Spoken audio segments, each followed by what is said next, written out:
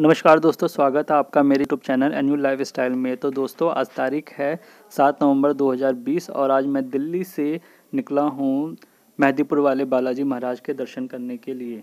तो पता नहीं इस कोरोना टाइम में वहाँ पर जाकर दर्शन हो पाएँगे या नहीं हो पाएँगे ये तो वो जा, वहाँ जाकर ही पता लगेगा। बीच में छोटा सा नज़ारा मिला जिसको मैंने कैप्चर कर लिया जो मुझे अच्छा लगा। चलो तो पहुँचते हैं मेहदीपुर वाले बालाजी महाराज। तो दोस्तों अब हम पहुँच चुके हैं यहाँ पर दर्शन के लिए तो मंदिर तो यहाँ पर सारा का सारा बंद ही हो रखा है, खुला कुछ भी नहीं है।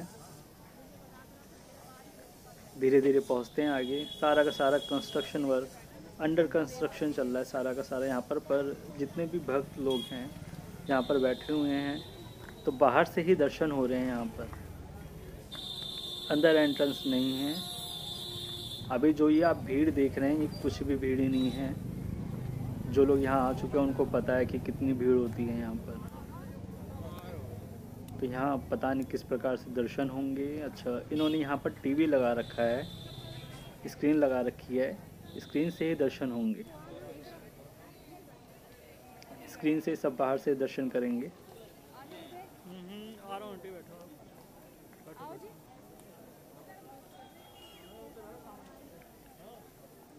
यहाँ का कुछ ऐसा नज़ारा है, पीछे ही हमारे राम मंदिर। ये राम मंदिर, ये भी बंद है, इसकी बाहर स्क्रीन लगा रखी है। तो दोस्तों, यहाँ पर ऐसा मान्यता है यहाँ पर ऐसी कि कितना भी बड़ा भूत हो, जो भी है, ऊपरी बाधा, किसी भी टाइप की ऊपरी बाधा है, कुछ भी है तो यहाँ पर आके वो सारी की सारी दूर हो जाती है।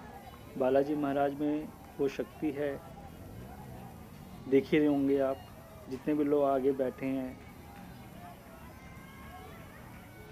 मैं क्या बयां करूँ? आप सब देख ही रहे हैं। कि मंदिर बंद है, फिर भी उनके अंदर इतनी शक्ति है कि जितने भी भूत प्रेत हैं, सबको भगाने की क्षमता वो रखते हैं।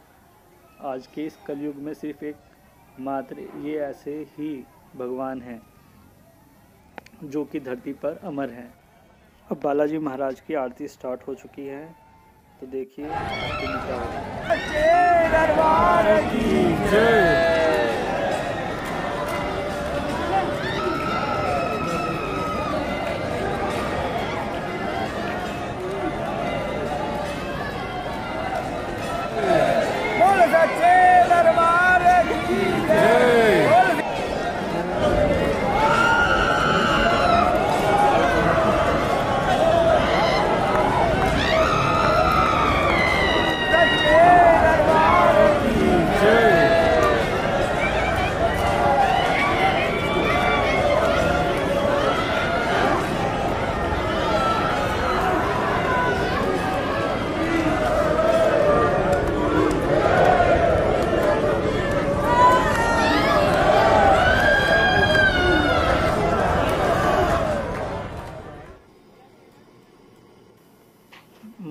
जी की आरती लेने के बाद हम लोग यहाँ पर गोस्वामी मिष्ठान भंडार है।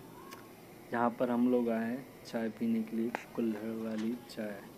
और भैया की चाय नहीं कह सकते कि बेकार थी, बहुत अच्छी थी, बहुत ही अच्छी चाय बनाई इन्होंने, जिसे पी के एकदम माइंड फ्रेश हो गया। और आप सब जानते होंगे कि कुल्हड़ वाली चाय का मज़ा ही अलग है। उनकी चाय और समोसे। दिल खुश हो गया।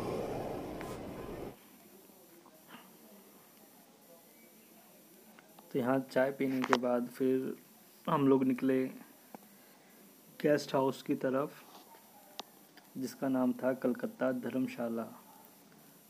तो इन भाई साहब से भी हमने थोड़ी बहुत बातचीत की और इनके पास क्या क्या फैसिलिटीज़ हैं, वो सब इन्होंने बताई हमें। तो यहाँ पर हम आए हैं भाई साहब के गेस्ट हाउस में। तो सर आप अपने गेस्ट हाउस का नाम बताएँगे? मेहंदीपुर सेवा सदन कलकत्ता धर्मशाला।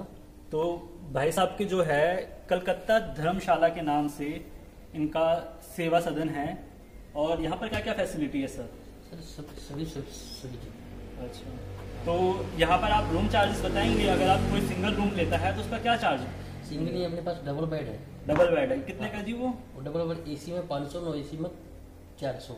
अच्छा। हाँ। यानी उसमें आराम से दो लोग सो सकते हैं। हाँ। दो लोग जो सोएँगे उसका जो चार्जेस है 400 अगर आप एसी लेते हैं तो सौ रुपये एक्स्ट्रा उसमें और जुड़ जाएगा। और जी अगर छह लोग हैं या चार लोग हैं उनके लिए फोर बेड है। फोर बेड है। वो उसका क्या चार्ज है? जी छः सौ फोर बेड का छह सौ रुपये हाँ।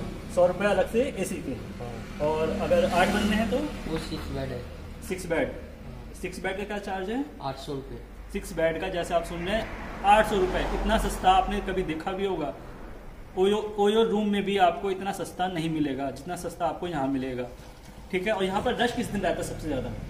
ऐसा को फिक्स के में अच्छा अभी कोरोना काल से काम तो बहुत कम होगा। कम हाँ कोरोना की वजह से भैया का काम भी अभी डाउन है बट ऐसा नहीं है काम डाउन कब तक रहेगा। कोरोना जिस दिन जाएगा काम स्टार्ट हो जाएगा भक्त हैं अपने भगवान के दर्शन करने आते ही रहेंगे। पीने की व्यवस्था है आपके पास? खाना पीना सब की सुविधा क्या क्या प्लेट है था, खाने की?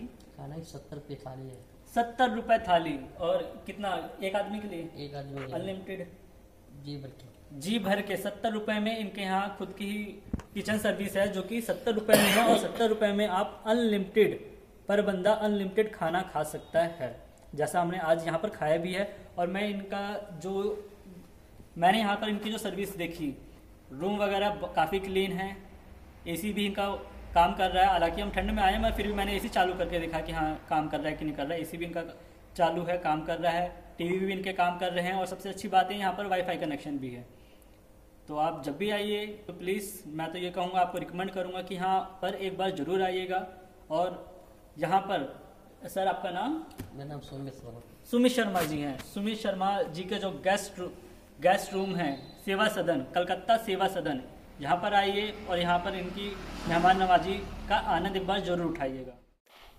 तो ये सुबह सुबह हम आ चुके हैं तीन पहाड़ पर काली माता जी के दर्शन करने के लिए और यहाँ का नज़ारा यहाँ से काफ़ी सुंदर दिखता है। हनुमान जी की मूर्ति। यहाँ से नीचे उतरते वक्त माता अंजनी ने पवन पुत्र हनुमान जी को अपनी गोदी में बैठा रखा है और थोड़ा सा और नीचे आने पर। काली माता भैरव बाबा काली माता भैरव बाबा और शनि महाराज जी के दर्शन किए हमने। और यहाँ से हम बिल्कुल सीधा नीचे आए बालाजी महाराज के दोबारा दर्शन करने के लिए। राम मंदिर। सुबह मॉर्निंग के टाइम पे भी यहाँ पर है थोड़ा बहुत रश है। और यहाँ से अगेन हम वापस पहुँचे कलकत्ता। धर्मशाला। कुछ ऐसी दिखती है इनके बाहर से। ये हमारी कार। और यहाँ से मैं अंदर जाते हुए ये भाई साहब साफ़ सफ़ाई कर रहे हैं यहाँ पर सुबह सुबह। तो अंदर चलते हैं और मैं आपको दिखाता हूँ किस कमरे में हम ठहरे थे और कमरा कैसा है दिखने में। इनके यहाँ पर ये मंदिर भी है। इनके धर्मशाला में, जो कि काफ़ी सुंदर है। वीडियो के डिस्क्रिप्शन में मैं इनका एड्रेस वगैरह, फ़ोन नंबर वगैरह दे दूँगा, जिससे आप एडवांस बुकिंग भी करा सकते हैं। तो ये रहा इनका कमरा, जिस कमरे में हम रुके थे। दोस्तों, अगर आपको मेरी वीडियो पसंद आई हो तो प्लीज़ लाइक करें, शेयर करें, सब्सक्राइब करें। बोलो सियापति रामचंद्र की। जय पवन पुत्र हनुमान की जय बालाजी महाराज की जय।